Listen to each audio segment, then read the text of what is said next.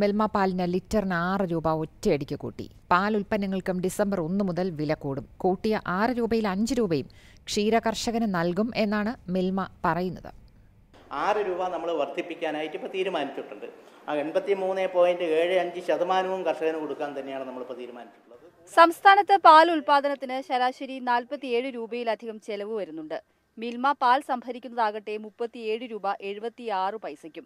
അതായത് ഒരു ലിറ്റർ പാൽ ഉൽപ്പാദിപ്പിക്കുമ്പോൾ കർഷകന് എട്ട് രൂപ അൻപത്തിയേഴ് പൈസയുടെ നഷ്ടം നേരിടുന്നു. ഇത് നികത്താൻ ലിറ്ററിന് എട്ട് രൂപ അൻപത്തിയേഴ് പൈസ കൂട്ടണമെന്നാണ് മിൽമ ശുപാർശ ചെയ്തിരുന്നത്. എന്നാൽ സർക്കാർ അനുമതി നൽകിയത് ആറ് രൂപയുടെ വർധനയ്ക്കാണ്. വിവിധ കവർ പാലുകളുടെ വില അടുത്ത ദിവസം നിശ്ചയിക്കും. തൈര് നെയ്യ് ഉൾപ്പെടെയുള്ള പാൽ ഉൽപ്പന്നങ്ങൾക്കും ആനുപാതികമായി വില കൂടും. കൂട്ടിയ വിലയുടെ എൺപത്തി മൂന്ന് പോയിന്റ് ഏഴ് അഞ്ച് ശതമാനം അതായത് അഞ്ച് രൂപ കർഷകന് കിട്ടും. ക്ഷീര സഹകരണ സംഘങ്ങൾക്കും വിതരണക്കാർക്കും അഞ്ച് പോയിന്റ് ഏഴ് അഞ്ച് ശതമാനം വീതം ലഭിക്കും. ക്ഷീര കർഷക ക്ഷേമനിധി ബോർഡിന് പോയിന്റ് ഏഴ് അഞ്ച് ശതമാനം മിൽമയ്ക്ക് മൂന്ന് പോയിന്റ് അഞ്ച് ശതമാനം പ്ലാസ്റ്റിക് നിർമ്മാർജന ഫണ്ടിലേക്ക് പോയിന്റ് അഞ്ച് ശതമാനവും വകയിരുത്തും. വില കൂട്ടുന്നതിലൂടെ കൂടുതൽ കർഷകരെ മേഖലയിലേക്ക് ആകർഷിക്കാനാകുമെന്നാണ് മിൽമയുടെ പ്രതീക്ഷ. രണ്ടായിരത്തി പത്തൊമ്പത് സെപ്റ്റംബർ പത്തൊമ്പതിനാണ് മിൽമ പാലിന്റെ വില അവസാനമായി കൂട്ടിയത്. നാലു രൂപയായിരുന്നു അന്നത്തെ വർധന.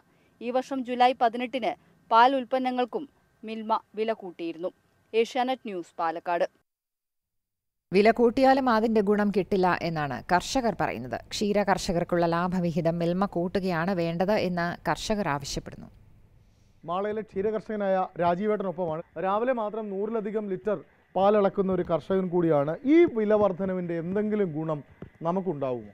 പറയത്തക്ക ഒരു ഗുണം ഒരു കർഷകനും ഇതിൽ നിന്നുണ്ടാവാനുള്ള സാധ്യത വളരെയധികം കുറവാണ്. അതെന്താ അങ്ങനെ പറയാൻ കാരണം? മിൽമ വിൽക്കുന്ന വില ഒരു ലിറ്ററിന് അമ്പത് രൂപയ്ക്കാണ്.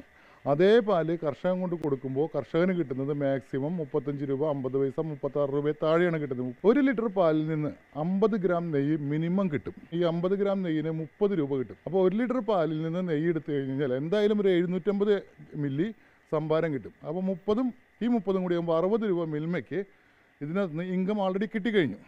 ഇതിന് കർഷകന് കൊടുക്കുന്നതെന്ന് വെച്ച് കഴിഞ്ഞാൽ മുപ്പത്തഞ്ച് രൂപയാണ് കർഷകന് മിൽമ കൊടുക്കുന്ന വില. ഒരു ലിറ്റർ പാലിന് മിൽമയ്ക്ക് കിട്ടുന്ന ലാഭം ഇരുപത്തിയേഴ് രൂപയുണ്ട്. ഈ എല്ലാ ചിലവും കൂടി പതിനേഴ് രൂപ കൂട്ടിയാലും പത്ത് രൂപ അപ്പോഴും മിൽമയ്ക്ക് ഒരു ലിറ്റർ പാലിൽ ലാഭം കിട്ടുന്നുണ്ട്. അതിലൊരു അഞ്ച് രൂപ ഒരു കർഷകനും അഞ്ച് രൂപ മിൽമ ലാഭം കൊടുക്കുകയാണെന്നുണ്ടെങ്കിൽ ഇപ്പോൾ ഉള്ള വില അനുസരിച്ചിട്ട് കർഷകന് നാൽപ്പത് രൂപ വില കിട്ടും. സുന്ദരമായി കർഷകന് മുമ്പോട്ട് കൊണ്ടുപോകാം. ഒപ്പം കാലിത്തീറ്റയുടെ വിലയും കൂടി അനുസരിച്ചിട്ട്. കേരള ഫീഡിന്റെ റിച്ചാണ് ഇപ്പോൾ ഇപ്പോൾ ഉപയോഗിക്കുന്നത്.